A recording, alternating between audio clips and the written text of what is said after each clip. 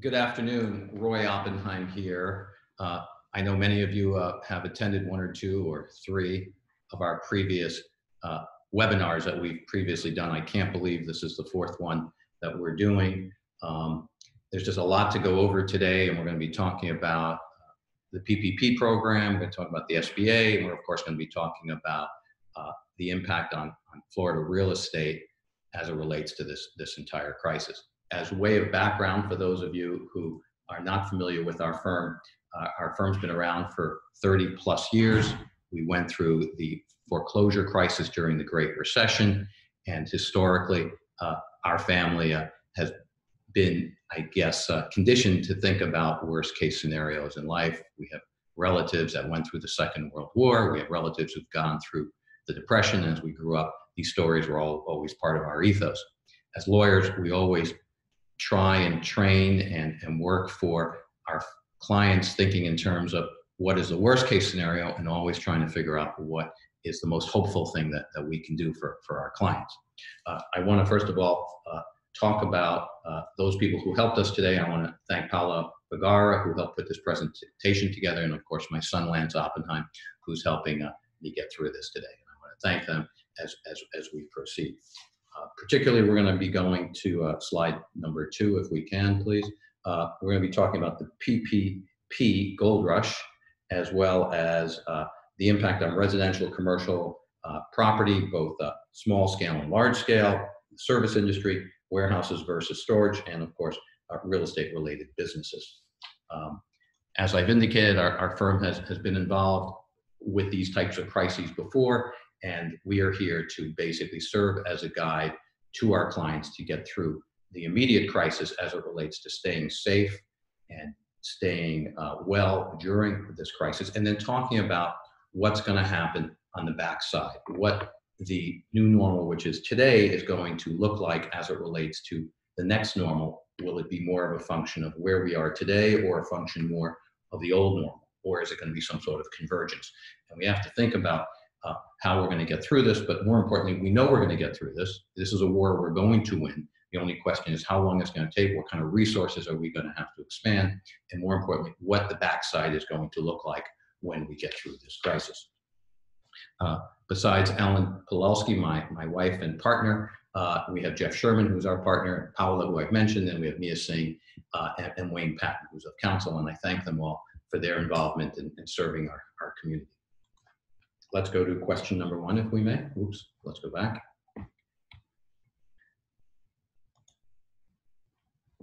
Uh, this is our first poll question. Do you think that this crisis economically is worse than the Great Recession? Yes or no?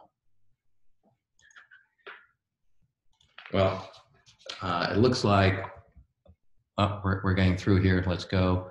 Uh, a few people say no. Some folks are saying it's too early to say. Uh, and so it looks like it's yes, 30% or so, no, 8%, and too early to say. Well, let's go to the next slide because the next slide is somewhat telling of, where we are right now.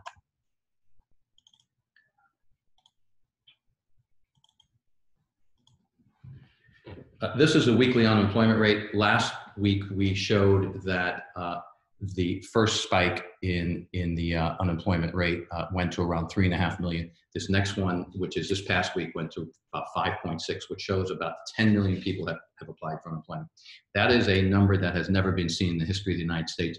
Even during the Great Recession around 2008, the number of, of folks that were applying for unemployment uh, never exceeded 1 million people in any one one particular week. And of course, this is a, a very unique situation because by staying at home and while we're increasing the unemployment curve, we are actually at the same time flipping this chart over and decreasing the spread of the virus. And, and I'm, I'm, not here to talk about the virus, I'm here to talk about the impact on the economy and how we're going to get through it. And by staying at home and sheltering in place, we're going to actually beat this war together.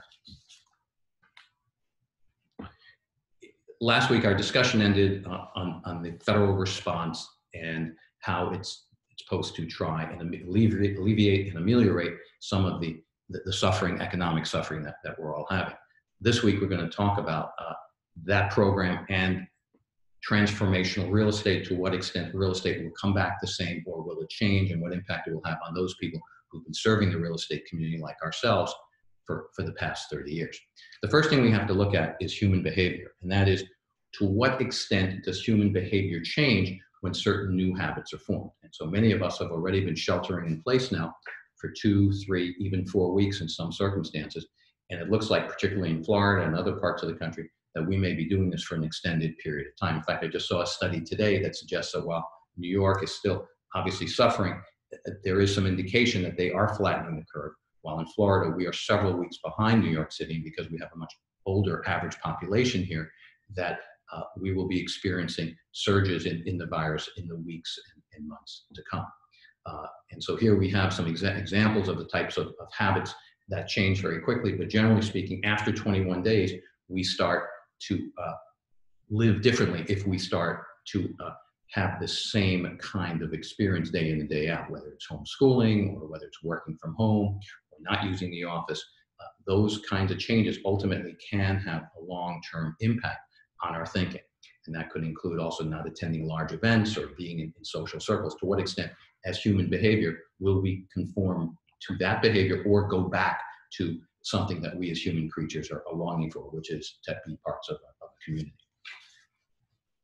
I do want to take a second to, to thank those individuals that historically are looked after, look, looked over in society. Those are the people that, that conduct the mundane activities, whether like in this particular case, someone who's selling newspapers and snacks on, uh, on the corner of, of a street in New York City or, or somewhere else, or the, the medical community who's helping, uh, who are literally at the front lines of, of this war, the police, the fire, uh, the, the, the, folks who drive the ambulances, and, and the people who work in the supermarkets to, to help those of us who are presumably at home right now watching this video. And to those people, they are at the front lines.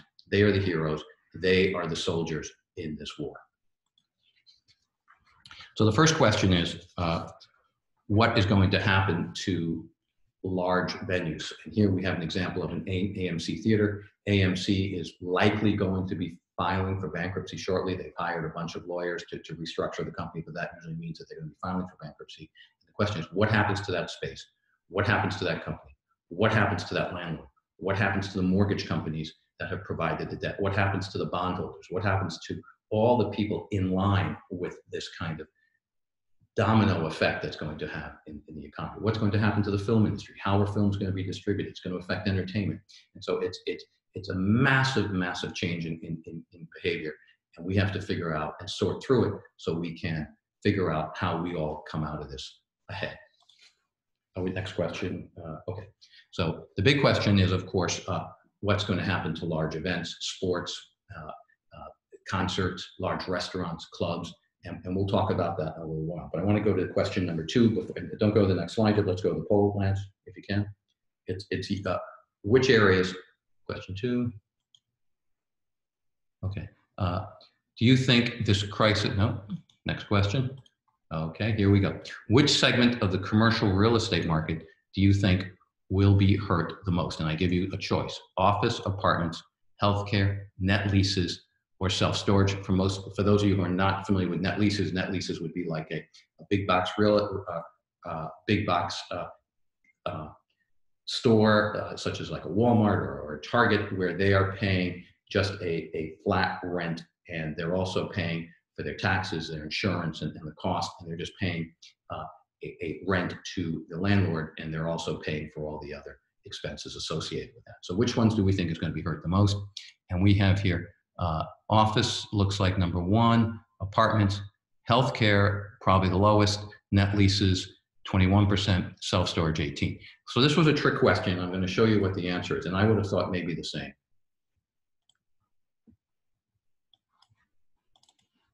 Okay, so can we, can we go to the next slide? Okay, if, if we actually go to the next slide, page 10. Okay, uh, we're actually going to see that healthcare is tied probably with hotels. It's probably going to do the worst. People saying, why healthcare? And the answer is because so many people are starting to recognize that telemed is going to be the way of the future, that many kinds of visits that we go to to a, to a doctor's office can be done via video and telemed and through technology. And so the amount of office space that healthcare facilities are using can be cut very, very substantially. And that's becoming something that in the future is going to clearly have an impact on, on, on rental rates for certain kinds of, of spaces. What we're finding is that data centers and towers and self-storage are actually being hurt the least, and we'll talk about that further. But I just wanted you all to know that, that um, we can all be fooled by, by not fully understanding how human behavior is actually changing the course of, of the real estate market as we listen to this conference today. Next page. Okay, I want to go to the PPP, and I know a lot of people are, are, are interested in this. Uh, this is the payment uh, the payroll protection plan. This is supposed to be the cornerstone of the administration's way to try and bail out small businesses. It's a 350, $350 billion uh, program. It, it, represents maybe slightly more than 10% or 15% of the entire uh, CARES package, which was a $2 trillion package, obviously 200 billion being 10%, uh, so it's around the 15% or so program. And we want to go to question three before we continue.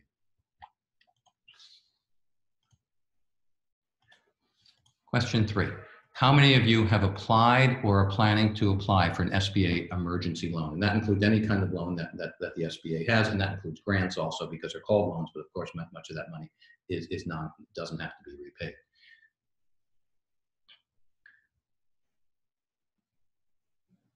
Okay, so we, we're not, we have a lot of folks, as much as 44, 45%, I'm not sure if they qualify. I want to talk about that explicitly. Uh, we have a bunch of people who intend to apply, and I suggest you apply quickly, and I'll explain why. And 34% congratulations if you have applied. So a third have applied, 25% want to apply or plan to apply, and they need to move quickly. And the other folks, who are about half, don't know if they qualify, and we need to figure out if you qualify today or not, because you don't want to be left out in the cold.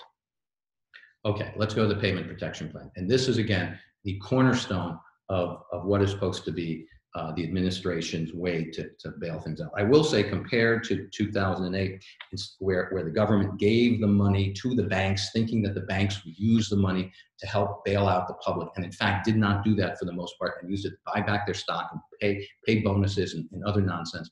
Uh, this time, at least the administration is trying to get some of the money into the pockets of little business. But one of the problem is, is their definition of little business or small business is not that they're all small businesses multi, multi-million dollar companies are being qualified as small businesses. If you own 1,500 Arby's, for example, you can apply for each and every single Arby and, and get hundreds or, or, or, or, tens of millions of dollars through this program versus someone who maybe owns a nail salon who maybe only be able to get 40 or $50,000 from, from the program. So let's talk about a little bit who qualifies for the PPP because this is a, a critical component. And, and what, what I do want to talk about is actually on page, um, um, on page 12, if we can just go back, oh, we're on page 12, is, is that none of the money from any of these programs has hit the street. Whether you've applied for unemployment uh, under the new program, uh, where you're supposed to get a minimum of $600 a month, uh, whether you've applied for the EIDL, which is the Economic Injury Disaster Loan, where you're supposed to get up to $10,000 within three days of applying, uh, or whether you've applied for the PPP. I don't know a single client who has received this money. The nature of these programs is that this money has to hit the street as soon as possible. It is actually kind of like helicopter money, which we talked about last time, by pouring as much cash into the economy as possible to get the economy going. Right now, we're looking at, at uh, form of deflation. We're looking at a form of stagnation where the velocity of money is slowing down because anyone who has money is going to hang on to that money to pay the necessities of life. But once we stimulate the economy and we get cash into the economy, we can actually revive the economy while we're trying to beat, and, and I'm not saying trying, as we beat this virus. Uh, a lot of these loans are not new, but they've been re-envisioned. They never were meant for a nationwide program. They were meant for disasters in particular places after hurricanes or tornadoes or, or, or floods, but they were never envisioned to be a nationwide program. The SBA is currently trying to employ tens of thousands of people to help them process this as our banks. And, and, and right now, it's unfortunate because the money is still not flowing. Okay, let's go to the next page, please.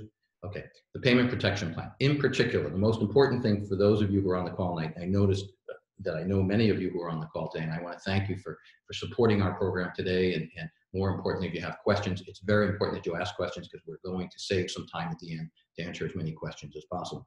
But the first thing is no one really knew about what to do with the 1099. So those are independent contractors, people who don't receive a W-2.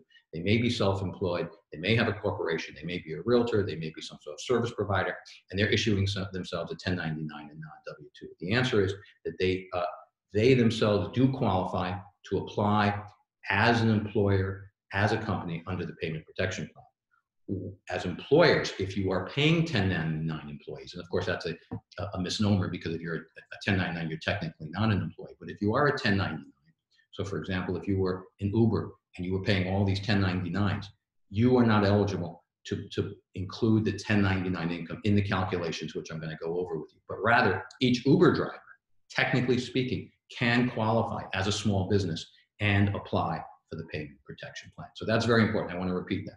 If you're a 1099, you are eligible to apply for the payment protection plan. If you are an employer and you are a general contractor and you have no employees and everyone's a 1099 because everyone's a sub, your subs can all apply for the payment protection plan. You can apply to the extent that you're paying yourself and issue a 1099, excuse me, a W-2 to yourself or a 1099 to yourself because then you could apply but all the 1099s that you're issuing, other than to yourself, those people have to apply for their own payment protection plan. But if, for example, you are an employer and you have a $100,000 average monthly payroll, what we do is we take that, that payroll, which is a W-2, and we multiply, we, we, and that's your average monthly. So you have $1.2 million worth of, worth of payroll. If you have a $100,000 payroll for the month, we would take that payroll, we don't include W-2s, excuse me, we don't include uh, 1099s. We only include W-2s. We deduct those incomes for those W-2s that people make over $100,000 in 2019. So if someone who makes 120, you reduce them to 100. You take that amount, you multiply that average monthly by 2.5, which is basically 10 weeks, two, two months, and then, and then half a month, so that's 10 weeks. And that becomes the amount of money that your loan is going to be forgiven to the extent you then use that money in 2020 to cover your payroll. You're also permitted to use 25% of that money for other expenses. And let me tell you what those expenses are. Those are expenses are rent, mortgage payments, utilities, and maybe one or two other general expenses that are considered overhead. To the extent that you do that and you use that money for, based on your 2019 calculation for 2020 payroll and for rent, those loans don't remain loans, but in fact become grants and they are forgiven. And the reason for this and the public policy behind this is instead of just everyone applying for unemployment, we're looking at small business as the engine for the American economy to keep businesses in place, to keep hiring people so that we have enough small businesses that will still exist after this crisis. If only 25% of all small businesses exist, it will be a very long and arduous task to rebuild this economy. If we can keep enough small businesses working, they can grow, they can expand, and it, it's kind of like, and I think I may have mentioned this last time, it may, it's kind of like a car that, that sits in a garage for months at a time. Generally, the engine's going to be bad, you're going to have to drain the oil, you're going to need, need at least need a new battery. If we can keep these small businesses going and keep the engine tested and keep the battery going, it is much easier for those small businesses to be able to rehire people and, and to build and grow. So just again, if you had a $100,000 average monthly payroll, not including 1099s, not including people over over 100,000. So if someone's making 150, you bring them down to 100. You take that amount, you multiply it by 2.5, which means a $250,000 loan, and then you can use 75% of that to cover your payroll, and the rest of it, which is a little under 50,000 if you do the math, or actually a little over 50,000, 250, 25, 50, a little over 50,000. You can use that money to pay your mortgages, commercial mortgages, and your commercial rent. Now let's talk a little bit about uh, the importance of, of having a banking relationship because there's a lot of shenanigans going on. The application opened at 12.01 a.m. on Friday, and it was a frenzy. It literally a gold rush to see who would get, get the loans first. And the answer was that those people who previously had borrowed from the SBA from an existing lender seemed to be the first online. The next people that were online that were people who had a banking relationship, meaning they had a checking account or savings account with a particular bank, and more importantly, also had borrowed money from that bank before. Many banks are not going to take new uh, clients and new borrowers at this time. And the reason is, is they're worried about fraud and they're worried about the SBA coming back to the bank and saying that they didn't vet these loans properly and they could be on the hook. Even though the SBA guarantees a loan, there's a certain level of due diligence that they're expecting each bank to do. And since these loans are happening so fast and so quickly, the banks rather lend the money to people with an existing relationship. We, in fact, have a client from a particular bank that got a $100 gift certificate from a particular bank because they were the first client in the United States that got their application in over, over the weekend. So, so far, as of last night, there have been 130,000 loans that have been processed. No money has hit the street yet that we know of. And of that 130,000 loans, $38 billion of a $350 billion program has already been basically designated, which means that almost 10% of the money, over 10% of the money has already been allocated. I suspect that within 10 days, this entire program will, will be over, oversubscribed. And one of the, the downsides to this is that if you are an, a sole proprietor, you can't even apply for this loan for another few days. I forgot the exact date. Paula, who's listening, could, could probably give us the answer. But I think it's around the 10th of this month, it will open up to sole proprietors. Sole proprietors are generally people who don't even have a corporation. They're, they're just an individual and, and, and they're issuing 1099s to themselves. The average loan amount, by the way, was $350,000 on Saturday or by, on Sunday, and the average loan amount has dropped a little bit to $292,000. So if you have any questions on this, please go over, uh, please ask, them, and we're going to proceed. So I want to talk a little bit about, uh, let me see here if I may, uh, about the different segments of real estate and, and, and how they're going to be affected by this based on, on, on, behavior changes that we're starting to see. Well, the first and most obvious is the fact that uh, head, headquarters is now the new home. The home is a new headquarters. And we're all learning how to telecommute. Commute. We're using Zoom like crazy. Uh, the internet, of course, is busting at, at the seams. And so the question is, how are homes going to be redesigned differently in the future to allow for homeschooling, telecommuting, and people working. I mean, in our home here, we have my, my adult kids are all here and we're all working as, as, as I do this today. And, and it's just not how we ever designed the house, but we're fortunate that, that everyone has found a little nook and cranny somewhere to, to do their work. And so the question is, how are homes going to change, redesign themselves? And of course, the other question is, to what extent are people going to feel comfortable living in communal environments, whether it's condos, ACLFs, or even living on a cruise permanently. I mean, there, there were some worldwide cruises that people were living permanently on cruises. And the question is, are these the kinds of environments that we're going to feel comfortable living in going forward? Or are we going to go back to the old normal and, and, and say, sure, these kinds of environments are, are, are fine. Let us move down to page 16. Okay, as I indicated, in terms of, yes? What's the question? Okay, oh, another question. Sorry, I apologize. Uh, Okay. Uh, do you know when PPP loan forgiveness will be calculated? I know it will be after June 30th. The question is specifically when. Uh, actually, my understanding it, it's a it's it's a 10 week period or an eight week period. It's an eight week period that you get to choose anytime after February 15th. And so you and your accountants and lawyers will decide what that eight week period is. That, that is my understanding. I'm not sure if all the rules have come out on that, but that, that I think is, is how they're, they're planning on proceeding. Okay, let me let me let me move on to uh, residential space, page 16. As I was saying, uh, the real question is social distancing and to what extent will that become a, a continuous theme in terms of how we organize our, our lives.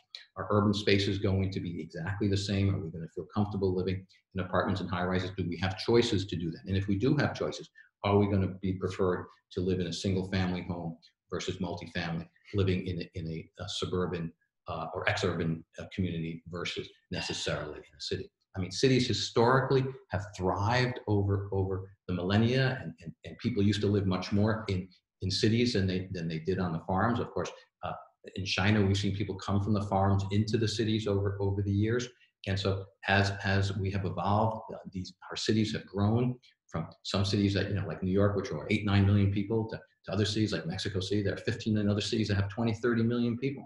And the question is uh, how that is going to impact our psyche and, and, and our sense of, of security uh, in terms of feeling comfortable in terms of choosing places to live, particularly if we're going to choose a place to live where we may also be working. Okay, 17. I want to talk about foreclosures. The last crisis evolved to a large extent around the foreclosure crisis and where uh, many people were losing their homes because they lost their jobs and the banks continued to foreclose. As bad as that crisis was, people were able to move into other, other homes with their families, they were able to double up. There wasn't an overlaying health crisis associated uh, with, with the crisis. And of course, Florida was ground zero. And of course, I, I, have a number of my colleagues who were intimately involved with us with defending foreclosures and, and, and helping uh, underscore how, how the banks were involved with unscrupulous behavior. This crisis seems to be different. And so right now, foreclosures are, are, are not the big issue. People are being told to stay in their homes. Uh, evictions have slowed down. When this crisis is over, uh, then the banks will gear up their, their, their foreclosure uh, mills. A lot of the mills right now have laid off some of the lawyers. They, they, they, they've put them on, on furloughs. And so they're, they're, they're waiting to get the green light to rev up and again throw people out of their homes. However, the banks have learned that if too many properties are foreclosed at one time, they will drive the prices of homes down, and so their very inventory that they pick up will have less value. So what they will likely do is create a slow drivel of, of foreclosures and, and try and do workouts with people and do forbearances and modifications and the necessary deed in lieu so that they can figure out a way how to get the economy going the type of bailout that we're seeing this time is based on the lessons that we learned last time. And so while there will be lots of foreclosures, I'm not sure if there will be a foreclosure crisis like there was last time. Now, I think the first homes that are going to get foreclosed will not be primary residence, but they will probably be vacation rentals, that'll be Airbnbs, there'll be maybe duplexes or triplexes where, where they are technically residential homes, but not necessarily truly commercial homes, and where folks were relying on the income month to month to pay their mortgage. And with that income not there or their income being diminished because the rents will be much less, those foreclosures uh, will be the first ones that we're going to see. And that will, of course, start to drive down property values. But hopefully, they, it won't be as precipitous a drop. Uh, but that will be a function, of course, of unemployment. And if you don't have a labor force and don't have folks who can afford to pay their mortgages, then you, you could have a very, very serious problem. Of course, right now, we want to tell people that this is a keen opportunity to modify your mortgage if you can. If you still have your job and you're lucky enough to still have a job with unemployment still only being around 13% uh, right now, I say still because it's going to go up very substantially, we would advise you to get your loan refinanced now while you still have good credit. There may be a point in time where you lose your job or you have destroyed your credit and you will not have the opportunity to modify. We suggest you modify. Our title company, Western Title, is exceptionally busy right now as it relates to helping folks modify their loans. And I encourage you to do that as soon as possible. Uh, I do want to talk about unemployment. We were just talking about this, and this is a, a fascinating slide. So during the Great Depression in the, in, in the early 30s, we saw an unemployment rate that, that almost hit 25%. During the Great Recession, we saw an unemployment rate in 2010 that, that peaked around 10%. And in 1980, there was actually another period of time where unemployment actually hit around 11%.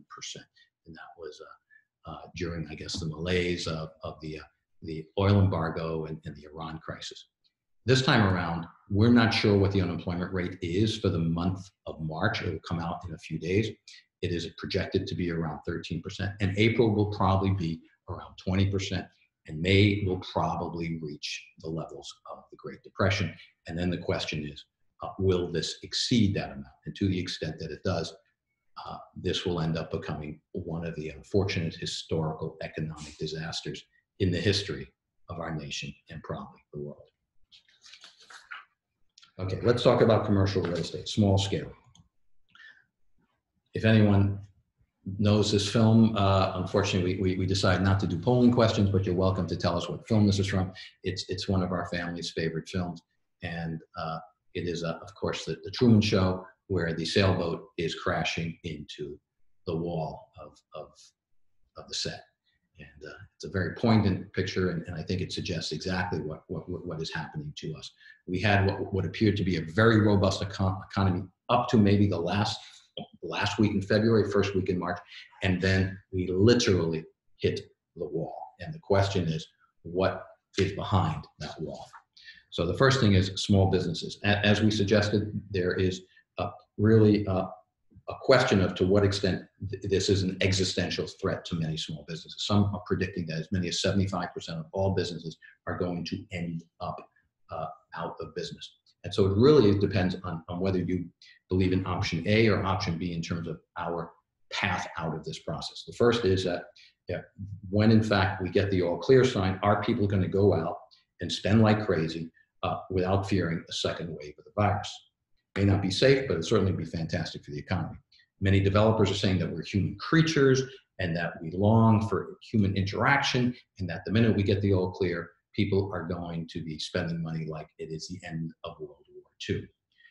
The other option, which we're seeing in other parts of the world, certainly parts of China uh, and, and, and, other parts of the country, the world where, where things are getting slightly better, is that we're seeing cautiously people are starting to spend. They're starting to go out with stuff face masks. They're not getting on airplanes like they used to. They're not going to hotels like they used to, but they are starting to go out. They're shopping. They're trying to get back to some sense of normalcy. The real question is, and again, I'm not a doctor, is there are really three ends to this. And one is that kind of like the chicken pox, everyone gets infected with the virus and their and their antibodies go up. And of course, there could be great, great loss if that were to happen. The second is that people end up uh, getting a vaccine and that the rest of the world is, is able to then stave off the, the, the spread of the disease. And the third, of course, is that this becomes an ailment that is treatable through various kinds of medicines where you don't have the kinds of fatalities that you have. There are other viruses, such as AIDS, for example, where that is exactly what happened and people were able to live with it. Society ultimately was able to beat it. And so the question is, which route are we going to go? And that will be the answer to option A or option B. And it depends really uh, what the course of medical history is when, when we get to this, this perspective. So retail and services uh, on, on a small scale. As we indicated that you know up to 75% of, of small businesses may not make it. And so the, the question is, are people you know going to continue to stay at home and not consume things? Or are they going to uh, eventually go out? Uh, small retailers are sometimes no different than the rest of the population. They are relying on this week's and this month's income to pay this week's and this month's salaries and, and, and expenses.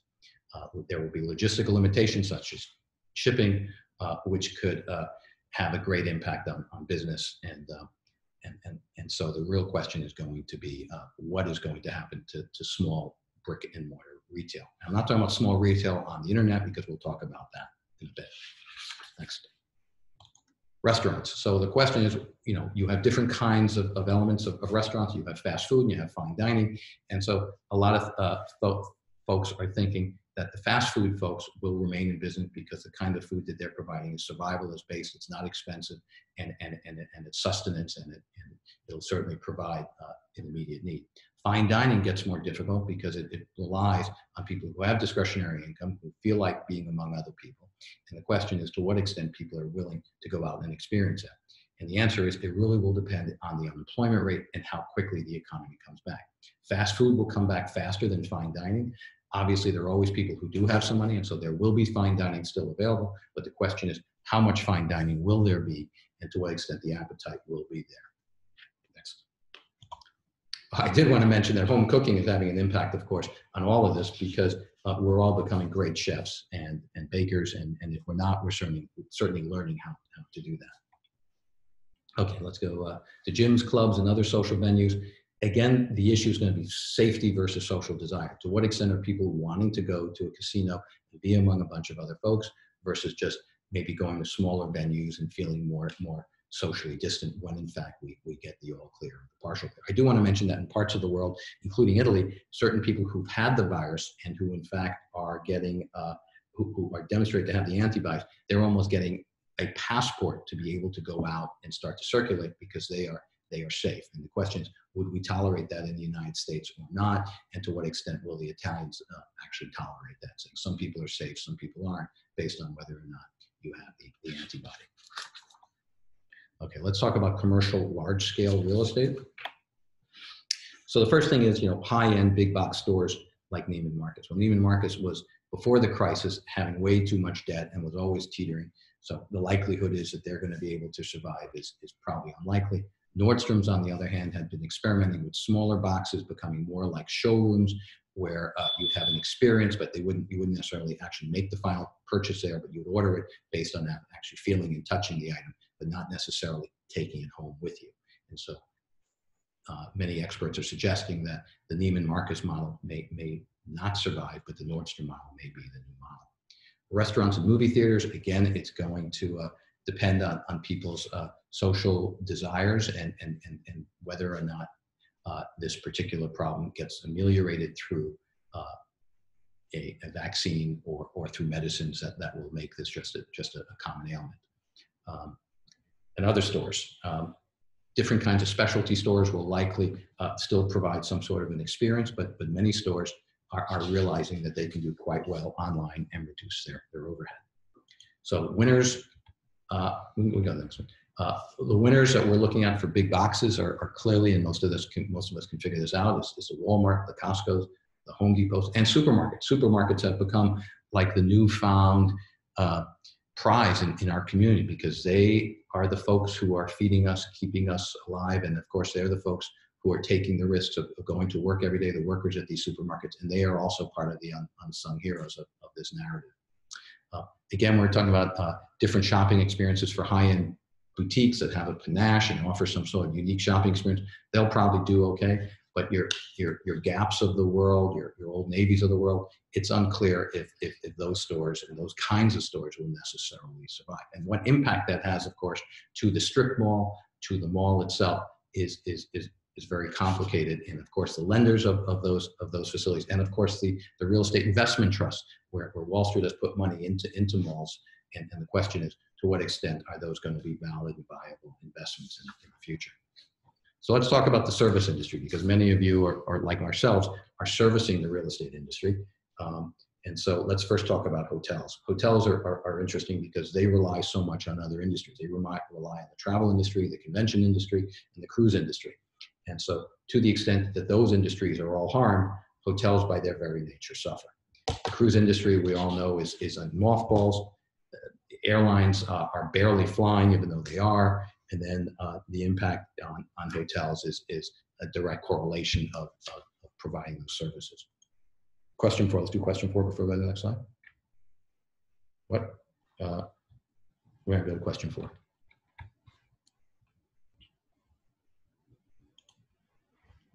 Okay, last question, if we may. Okay, that's question one. Question. Okay. Will you likely immediately attend large events, concerts, sports, casinos, malls, once the government allows these facilities to reopen? It's either yes or no, or it depends.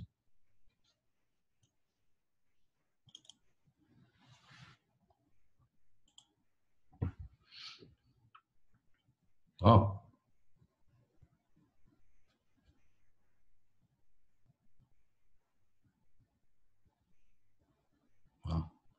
Well, this is exactly what I'm talking about.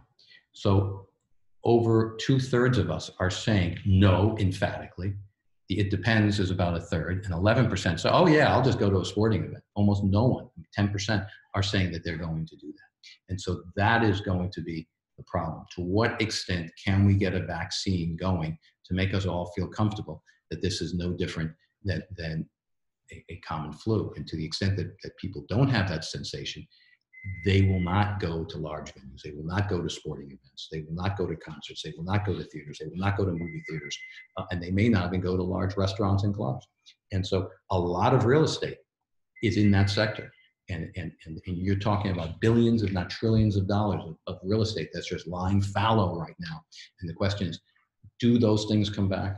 Do we reinvent those, those, those facilities? Do they remain hospitals? Do they become schools? Do they become residences? What happens to, to, to those facilities? And I don't have the answers to those questions. All I can do is pose those, those questions. And I do want to mention one thing, which is really interesting. Because we are all not driving right now, many insurance companies, particularly Allstate, is going to be sending rebate checks to their insureds because your car is in a mothball sitting in your garage or on the street. And because of that, uh, they have less accidents, they're spending less money, and you as a, as a, as, as a insured are getting a rebate on, on your policy. But the, the consequence of that is you have less car accidents, less lawyers who have to have to defend the accident, less lawyers who are going to bring the, the, the personal injury claim, and less underwriters, less mechanics, and it trickles down through the whole, whole process. And so it's not just big events, but it's, it's the alternative way that we are now uh, evaluating how we spend our time that's going to have this, this dynamic impact on the economy and ultimately how we use our spaces. Warehouses versus storage. Okay. So large warehouses right now are, are short supply and high demand, and they have emptied out because their inventories are, are coming down. But it will take time to get goods moving again through these spaces. And so to a large extent, some of these large warehouses uh, may in fact uh, be overvalued. Small warehouses uh, may actually be more valuable because they're designed to store goods for a shorter period of time and to feed online retailers that would be needed. Uh, and they're also good for small deliveries and, and for folks who are going to start building maybe a, a home business out of their garage and need a, sec a, secondary place to store their, their inventory, even if it's masks that many people are making at home, home right now is a good example, or, or baked goods or anything else that, that they may be doing. Data storage facilities, obviously, by definition, because of the high internet traffic, uh, the big boys are all going to be building larger data farms and data facilities. And, and so that kind of real estate we, we anticipate is going to continue to do quite well. Okay. Okay. Uh, let's talk about real estate related businesses, if, if we may. Uh, let's talk about realtors. Obviously, there are limited showings right now. There are virtual showings. I know some realtors are still going out and uh, while they, they can do that, they have to be very, very careful. And most homeowners really don't want people going through their homes right now. So it's really very, very tough. In terms of commercial realtors, uh, there are numerous issues of, of tenants who are not paying their leases. Of course, those landlords then have to deal with their mortgage company. In Broward County right now, as I may have mentioned, uh, there are uh, there's a moratorium on, on evictions. And so uh, everyone's in a, in a, standstill for this big sleep that we talked about last last week for this 60 or 90 day period. Uh, but the real question is, is it only going to be a 60 or 90 day period, or if it's going to be a lot longer? As I may have indicated earlier, there are experts that are suggesting that Florida is going to be one of the, the last states to come back because of our, our, our older average population here, here in Florida. Uh, and of course, because everything is moving online, uh, the question is, are some of the, the mom and pop retailers that, that we have in our strip malls going to still be viable? I'm not talking about the nail salons and the hair salons because that's a service industry, but I'm talking about more about folks that, that, that provide some sort of good uh, in, in, in, the strip mall. Of course, the other question is, will the personal salons come back online? Uh, because many people, as we've indicated, or you all have indicated, are, are not that keen to go to the large facilities uh, because of, of, the potential uh, spread of the virus. I would think that that would also apply then to go into a personal service groomer, whether it's uh, for your hair or, or, or for any, any other personal service, uh, such as your nails. So we've talked a little bit about refinancing. Interest rates are low right now. Uh, refinancing is, is probably a very uh, good thing for you all to look at. So mortgage brokers probably should, should remain busy, except the jumbo loan market, which is going to have an impact on realtors. We're hearing that, that many banks are not going to continue to make jumbo loans because they are not backed by uh, the various government agencies and the, and the banks do not want to assume that risk. Uh, Wells Fargo said they will only make jumbo loans if you put a quarter million dollars in their bank. And if you do not do that, they will not provide a jumbo loan to you. And I suspect that many other lenders are going to do that to try and, and increase and shore up their deposits by using that as a, as a way to, to build business. But it's also going to mean that a lot of people aren't going to have that quarter million dollars in cash, especially in this economy right now.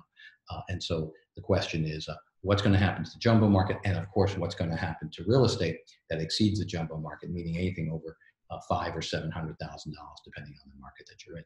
We expect a slower pace. Uh, businesses and, and, municipalities are running on skeleton staff. The, the, lien searches aren't coming back quickly enough. Uh, inspections aren't being done quickly enough for, for new construction, and so everything's going to slow down because of that. And that and that's just a fact of life, unfortunately. Remote notarization, of course, is, is, is the only green spot. Of course, our title, our Weston Title Company is, is highly involved in that, and we've been promoting that. And that's a way to, to continue to get uh, business done without actually physically having to be in a closing, being in a huddle, being with a bunch of people breathing on you, but instead doing it all online. While there are still kinks in the process, uh, we're, we're happy to say that that process is moving very quickly, not just in Florida, but in all 50 states. We talked about lenders and brokers.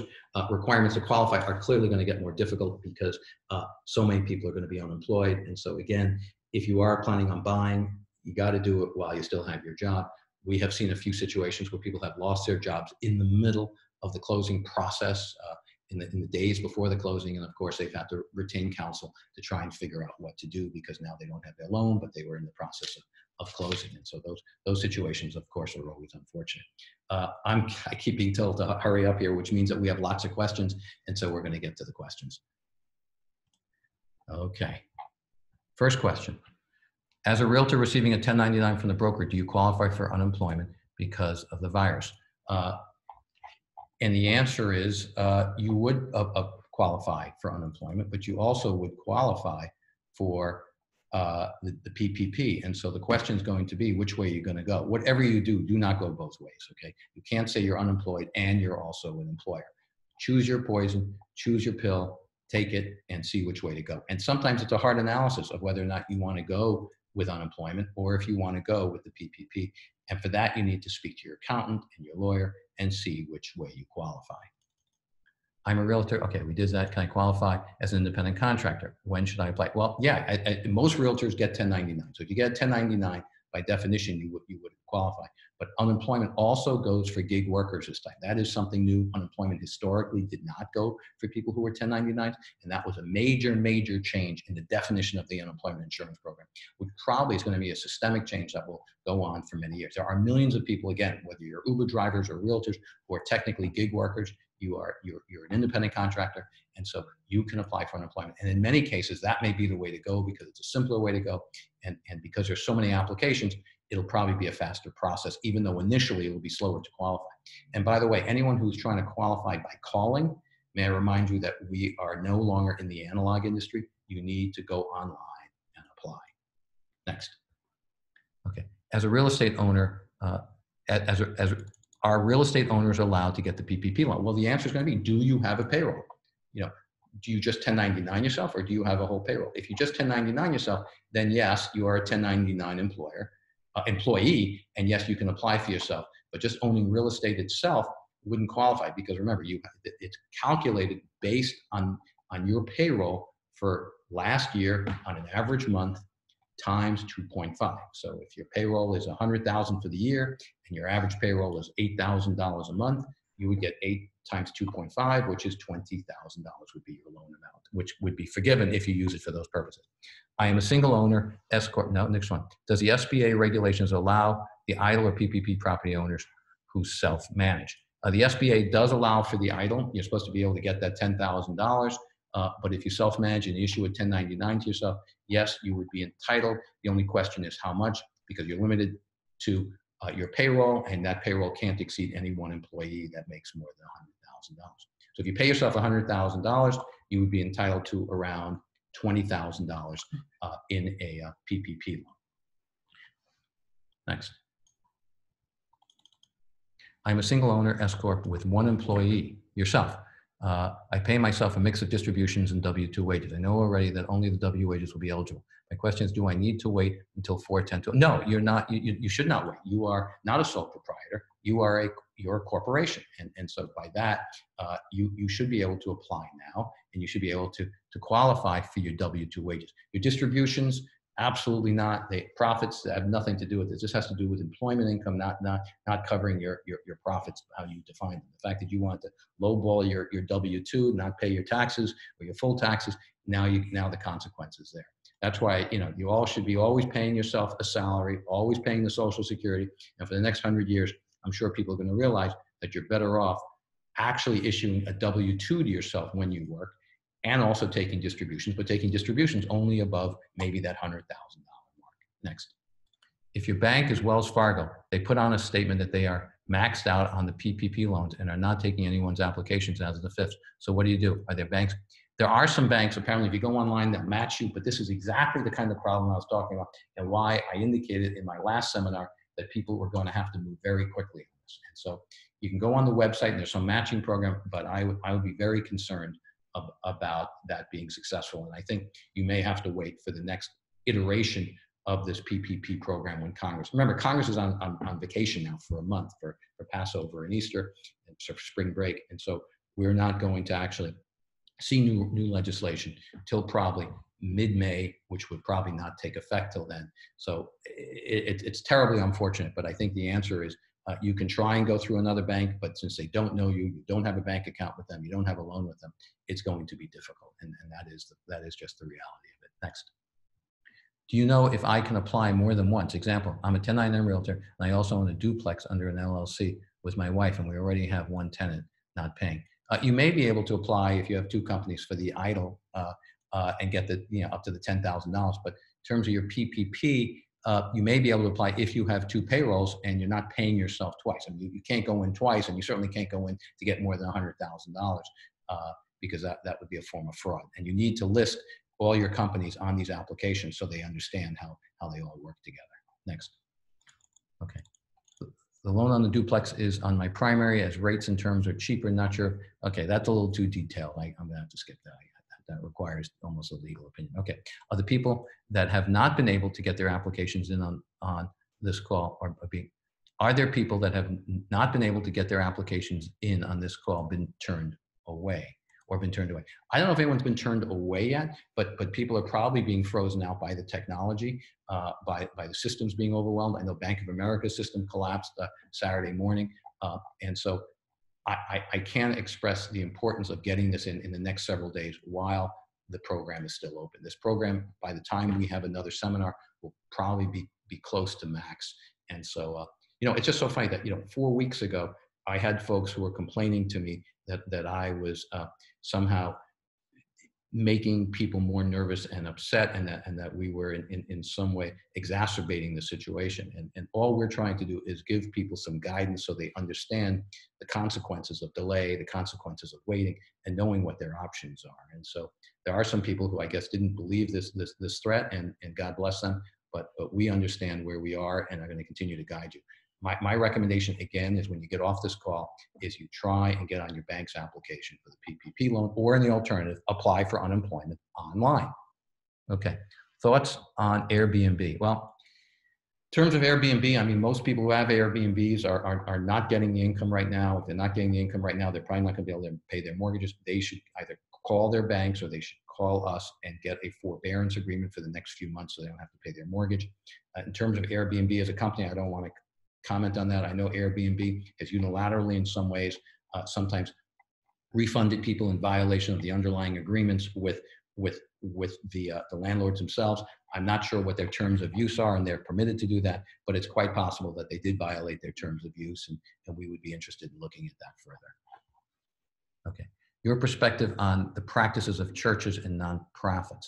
Uh, uh, I'm not sure if that question is, but churches and nonprofits uh, are uh, will more funds become available for nonprofits and churches? Uh, the funds uh, uh under the PPP are available for nonprofits and churches right now, 501c3s and religious organizations. Assuming they have a payroll, they, they should be applying like everybody else. Uh, but there's no special uh, program for, for churches and, and nonprofits. can you do international remote notary? Yeah, if you get me on an airplane and, and fly me there, uh, but guess what? I'm not going anywhere. Remember, international civil law notary requires me to get on a plane and go anywhere in the world where we have where we have diplomatic relations and I can actually notarize documents. In theory, you should be able to use RON, which is remote online notarization, but that typically doesn't work because unless you're a US citizen, the questions are going to ask you uh, will not be relevant because they're always US based questions, security questions that you're going to be asked, like where you lived or what your last school was or what your, what your car was. And, and, and that the system will not be able to ask those questions if you're overseas. Historically, international notaries could go anywhere in the world to collect notarizations as if they were in Florida. Right now, because they cannot get on an airplane or won't get on an airplane and won't be able to come back, there's limitations on the international notary front. Okay. Can you do PPPL and EIDL? Yes, you can. Uh, if you get the $10,000 uh, grant or loan from the EIDL, I think it, it, gets deducted from your PPP. Is it a good idea to apply for a reverse mortgage? Well, you know, reverse mortgages have always been very interesting. They're a little expensive. For those of you who don't know them, they're, they're kind of like equity lines that you don't have to pay back. The older you are, the better the underwriting is. Um, and, and I would say that, that they may be a perfect uh, they may be a perfect thing for someone. Usually around 70, 75 years old to kick in. If you're in your 60s, they, they really don't work that well. But certainly once you hit in your 70s, they, they could become a great opportunity to pull out cash, especially if you do not have a first or second mortgage on your property and it's free and clear. How long does it take to hear back from the SBA once you apply? I will let you know next week because I know no one that's that, that has heard back other than to say, yeah, we got your documents. Here's your confirmation number. If you're an idle, the EIDL, or, yeah, congratulations, you processed, here's your dashboard, we'll get back to you. SBA loans is different than the PPA. No, the, the PPPA is a type of SBA loan. If you go to our website, there is a, uh, a coronavirus section that lays out all the different loans, which also is what we had laid out previously in, in our last week's presentation. But all that information is there to give you links and whatever you need to figure out what all your loans are, or you're welcome to call our office and we'll help you navigate that. Can you talk a little bit more about the EIDL? Um, yeah, I did. Uh, we talked about it last week, but the most important thing about the EIDL is that there is a grant component of it. So the first $10,000 is in fact dischargeable if you use it basically for payroll or, or other particular expenses. Otherwise, it's a low interest rate for about four, for around 4%. And for the first six months, there is no interest. Uh, and I would recommend that you apply for both. Just because you apply for both doesn't mean you're going to get both. And just because you get both doesn't mean you have to take the money. But I recommend that right now, uh, from the history of all these kinds of economic crises, the people who are able to stay uh, with cash and, and keep their powder dry are the ones who come out of this the best. Next. Our company bank, Wells Fargo, told us that they are no longer accepting applications. What do you do now? You know, I don't shoot the messenger. I don't have a crystal ball, but the answer is going to be uh, have a secondary banking relationship or go online and, and ask that the SBA match you with, with a lender. The problem is that the process will be slower, and by the time they do that, the money will have run out. But I still recommend that you that you give that a shot. Can you apply for both programs? Okay, we asked that already. Thank you so for this info. Will you discuss unemployment benefits for realtors, freelancers, independent contractors? Okay, so as we talked about, uh, if you're an independent contractor or a freelancer or a gig employee, a gig in the 1099, you do have a choice. You can either apply for the PPP and, and get uh, the equivalent of two and a half months of your income that you would pay yourself under a 1099, uh, or in the alternative, apply for unemployment. You cannot do both, and you have to decide which works better and what is better for you. If you don't have a banking relationship, then yes, you're going to have to apply for, for unemployment. If you do have a banking relationship and they're and they're going and they're going to let you qualify as a PPP loan, then that may be better. But you have to do the math and see where you're going to come out ahead, and that's that always is, is a mathematical equation that we can do or that your accountant can do and we can help you with. Can you apply for more than one PPP if you own multiple companies? Yes, you can, provided you have multiple payrolls. And it's not like you are on each payroll and paying yourself $100,000 at each company, because the maximum that you're entitled to is $100,000.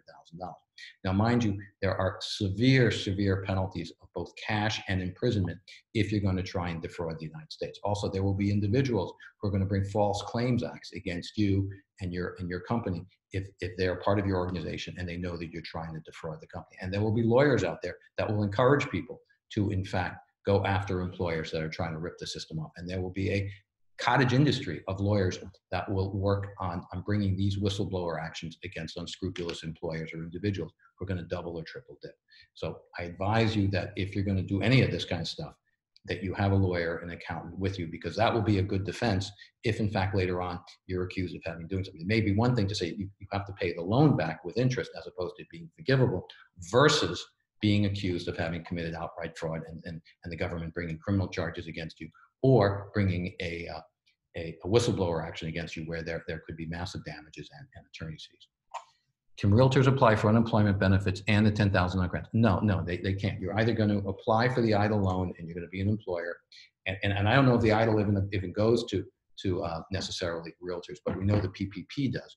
But to the extent that the EIDL, if you can apply for the EIDL as an independent contractor and the, the PPP, the question is going to be, is that still a better deal for you than applying for unemployment? The other question is, are you truly unemployed?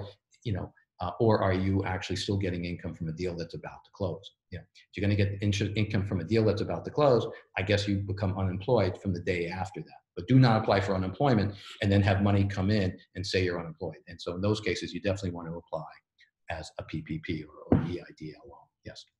The unemployment is $600 per week for four months uh, for everyone, depending on my 1099. Uh, it, it's, it's a minimum of $600 and the excess above $600, which is around 235 or $250 uh, in Florida, will depend on a sliding scale based on how much your income is. So if your income was rather low, you still will get the 600 bucks, which is a lot more than Florida used to pay because that money is coming from the federal government. But it may not be the two, 235 or 250 because your income was low. If you're, if you're making a decent wage, then you probably will get the maximum of the 600 plus the maximum that Florida pays of somewhere around 800 bucks, eight and a quarter uh, a month, a, a week uh, for uh, a period of four months. And so in many cases, that may be the, the best option. Okay. Uh, if people who have applied for unemployment in the past is applying this considered a first time claim? Uh, no, I don't think so. I think they're still going to uh, look at, at, your history of unemployment and see for how long you, you, you, you applied. And if you've applied too frequently and have been paid too much in unemployment, you may have to wait a certain period of time. That's a good question. Thank you, Jerry. My client got a denial from the lender after getting a conditional approval, and now the financial contingency has expired. Her escrow money is in risk, and the seller will claim the deposit. Can she still fight and deny? Yeah, I, would certainly fight. I wouldn't release it. I'd hire a lawyer. We're doing a lot of that and try and negotiate a, a settlement and, work something out reasonably. Uh, if they're going to have to go into court, it's going to take them weeks and months. They're going to have to pay their attorney, and and and the courts really aren't going to have the patience for this when when they they start to open up. So I think what we have to do is be reasonable here. Understand you've caused a lot of hardship to the seller who may have moved out, and they have to move their stuff back in. And and and this is you know under those circumstances that you may want to call force majeure or shit happens depending on, on your circumstances. Are you available for consultation? What's your phone number? Well, I think most people know our phone number. It's 954-384-6114. You can certainly uh, contact us online and, and we are, are available. And we, we do have special rates for those people who mentioned that they, in fact, have uh, seen us on in, in these seminars for the next few days. And, and we thank everyone for keeping us in business and we thank everyone for, for, for supporting these, these efforts and asking these great questions. Uh, Okay, also, if you'd be kind enough, uh, on our website, www.oppenheimlaw.com, we have a COVID-19 uh, coronavirus section that, that continues to evolve, and there's a lot of good answers to, to many of your questions there today. And we also talk about the kinds of situations that, that we're dealing with on, on a daily basis. again, let me see, uh, my dear friend Evan, uh, not a question, just a comment. It's interesting that some people think you have a, a bit too doom and gloom. I think you've done a great job. Thank you, Evan, in finding the right balance. I have many people in my ear, including a surgeon and a bank lawyer, who think, oh, we are teetering on the brink of another Great Depression. Thanks for this valuable dose of sanity. And, and, and we might be, Evan. We, we may well, that's Evan Rosen, who, who uh, has been doing foreclosure defense with us over the past 12 years, is in charge of a, a great group of lawyers and has been a hero to, to, to, the bar in, in, that context. But, you know, we may be at, at a Great Depression and we may be at, a, at an event that's similar to 9-11 or the Great Recession or World War II. Whatever it is, we're going to beat it.